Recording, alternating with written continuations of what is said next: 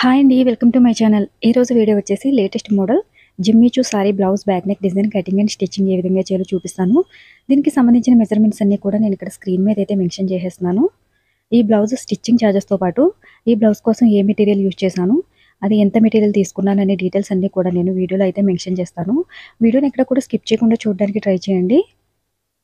వీడియోని స్కిప్ చేయడం వల్ల మీరు ఇంపార్టెంట్ డీటెయిల్స్ ఎక్కడైనా మెన్షన్ చేస్తే చూడడానికి వీలుగా ఉండదు. ఎవరైనా మన ఛానల్ని ఫస్ట్ టైం చూస్తుంటే సబ్స్క్రైబ్ చేసుకోండి. అలానే పక్కనే ఉన్న బెల్ బటన్ని క్లిక్ చేసి ఆల్ అనే ఆప్షన్ని క్లిక్ చేయండి. ఆల్ ఆప్షన్ క్లిక్ చేసిన వారికి మాత్రమే నోటిఫికేషన్ వస్తుంది. ఇక్కడ నేను క్యాన్వాస్ పేపర్ని తీసుకుని మనం మెయిన్ ఫ్యాబ్రిక్ మీద డ్రా చేసుకున్న నెక్ డిజైన్ ఏదైతే ఉందో దీన్ని క్యాన్వాస్ పేపర్ మీదకి అయితే మార్కింగ్ చేసేస్తున్నాను. డిజైన్ అయితే చాలా సింపుల్గా అండ్ ఈజీగా ఉంటుంది. మీకు డబుల్ కలర్ కాంబినేషన్లో కనుక డిజైన్ని స్టిచ్ చేసుకోవాలనుకుంటే కనుక ఈ డిజైన్ అయితే ట్రై చేయండి. చాలా బాగుంటుంది. ఇక్కడ వచ్చేసి నేను డబుల్ కలర్ కాంబినేషన్లో స్టిచ్చింగ్ చేస్తాను. ఒకటి వచ్చేసి పింక్ కలర్ అలానే బ్లూ కలర్ క్లాత్. కాంబినేషన్లో అయితే ఈ డిజైన్ని స్టిచ్ చేస్తాను ఈ డిజైన్ కోసం మనకి క్లాత్ కూడా పెద్ద ఎక్కువగా ఏం అవసరం ఉండదు. జస్ట్ మనకి బ్లౌజ్ పీస్ వస్తుంది కదా వన్ మీటరు. ఆ బ్లౌజ్ పీస్లో లీవ్స్ అయితే మనకి బ్లౌజ్ పీస్లో వన్ మీటరు సరిపోతుంది లీవ్స్ కోసం. ఎక్స్ట్రాగా పింక్ కలర్ క్లాత్ మాత్రం ఒక పావు మీటర్ అయితే తీసుకున్నాను. మీకు ఒకవేళ మొత్తం సింగిల్ కలర్లో స్టిచ్చింగ్ చేసుకోవాలనుకుంటే కనుక ఒకటి పావు మీటర్లో బ్లౌజ్ మొత్తం కూడా కంప్లీట్ చేసేయచ్చు. అలానే ఈ బ్లౌజ్ కోసం స్టిచ్చింగ్ ఛార్జెస్ వచ్చేసి మనకి లైనింగ్ బ్లౌజు ఫోర్ హండ్రెడ్ నుంచి ఫైవ్ హండ్రెడ్ రూపీస్ లోపు ఉంటే కనుక మీకు ఈ డిజైన్ కోసం స్టిచ్చింగ్ ఛార్జెస్ వచ్చేసి ఎయిట్ హండ్రెడ్ నుంచి నైన్ హండ్రెడ్ వరకు తీసుకోవచ్చు. డిజైన్ సింపుల్గానే ఉంటుంది ఈజీగా స్టిచ్చింగ్ చేసేయచ్చు. బిగినర్స్ అయినా సరే ఈజీగా స్టిచ్చింగ్ చేసేయగలుగుతారు. ఇక్కడ క్యాన్వస్ పేపర్ని లైనింగ్ క్లాత్ని నేనైతే ఐరన్ చేయలేదు. డైరెక్ట్గానే స్టిచ్చింగ్ చేసేస్తున్నాను. అలానే ప్రతి బ్యాక్ నెక్కి మీరు క్యాన్వాస్ పేపర్ని యూజ్ చేస్తున్నారు కంప్లీట్గా. క్యాన్వాస్ పేపర్ లేకుండా స్టిచ్చింగ్ చేయలేమా అని చెప్పేసి అడుగుతున్నారు. క్యాన్వాస్ పేపర్ లేకుండా కూడా స్టిచ్చింగ్ చేసుకోవచ్చండి. నేను మెన్షన్ చేస్తున్నాను కదా క్లియర్గా మీకు అవైలబుల్గా ఉంటేనే స్టిచ్చింగ్ చేసుకోండి. లేదంటే కనుక డైరెక్ట్గా మెయిన్ ఫ్యాబ్రిక్ని లైనింగ్ క్లాత్ని కూడా స్టిచ్చింగ్ చేసేయండి అని చెప్తున్నాను కదా. అందుకే ఈ రోజు అప్లోడ్ చేసిన టూ వీడియోస్కి కూడా నేను బ్యాక్ పార్ట్ మొత్తం కూడా క్యాన్వాస్ పేపర్ని అయితే స్టిచ్చింగ్ చేయలేదు. అది కూడా మనం ఎప్పుడు స్టిచ్చింగ్ చేసుకునే జిమ్మిచూ సారీ క్లాతే. మీ దగ్గర క్లాత్ కొంచెం ఎక్కువగా ఉంది అని అనుకుంటే డబల్ లేయర్లో స్టిచ్చింగ్ చేసేసుకోండి బ్యాక్ పార్ట్కి మెయిన్ ఫ్యాబ్రిక్ని లేదు నార్మల్గా బ్లౌజ్ పీస్లో క్లాత్ అనుకుంటే మీరు డబల్ లేయర్లో స్టిచ్చింగ్ చేస్తే మనకి ఫ్యాబ్రిక్ సరిపోదు కనుక సింగిల్గానే స్టిచ్చింగ్ చేసేయాల్సి ఉంటుంది.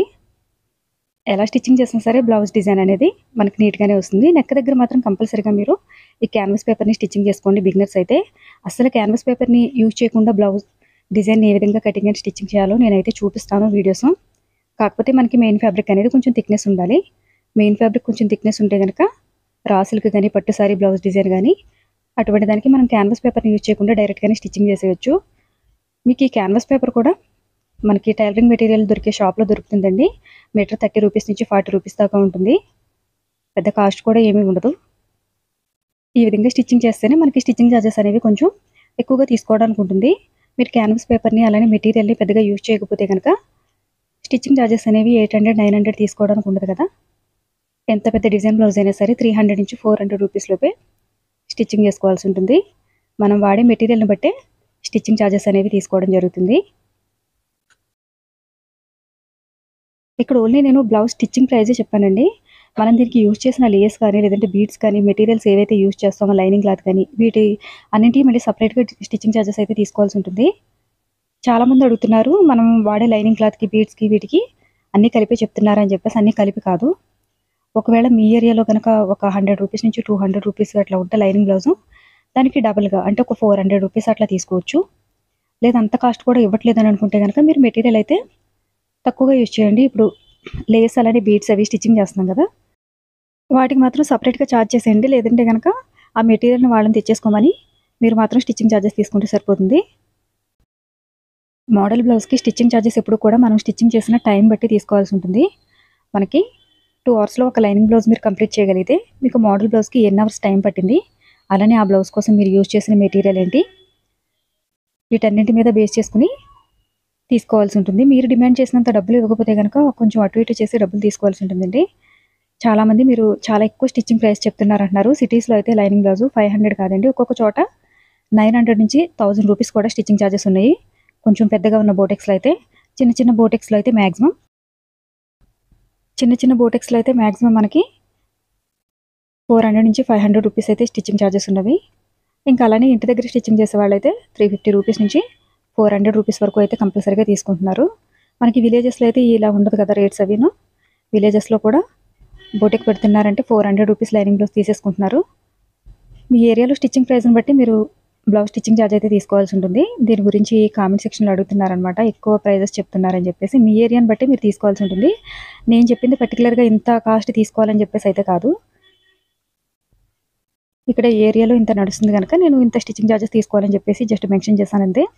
ఇక్కడ వచ్చేసి కొంచెం మీడియం సైజులో ఉన్న లేస్ అయితే తీసుకున్నాను. మీకు ఒకవేళ లేస్ తీసుకోవడం ఇష్టం లేదు లేస్ స్టిచ్చింగ్ చేయడం అనుకుంటే కనుక మీరు లేస్ని అయితే స్కిప్ చేసేయండి. లేస్ని స్కిప్ చేసేసి డైరెక్ట్గా డిజైన్ స్టిచ్చింగ్ చేసేసిన బాగానే ఉంటుంది.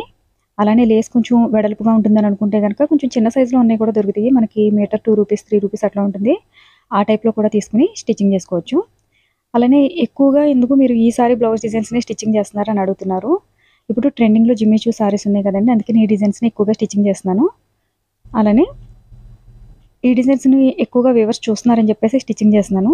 ప్రత్యేకించి ఈ డిజైన్స్ని స్టిచ్చింగ్ చేయాలని ఏమీ లేదు. ఎక్కువ వ్యూవర్స్ చూస్తున్నారని చెప్పేసి ఈ టైప్ డిజైన్స్ని అయితే స్టిచ్చింగ్ చేస్తున్నాను. మీకు కొంచెం సింపుల్గా ఉండే డిజైన్స్ని స్టిచ్చింగ్ చేయడం కోసం అని చెప్పేసి మన సెకండ్ ఛానల్లో ఆల్రెడీ ఉన్నాయి.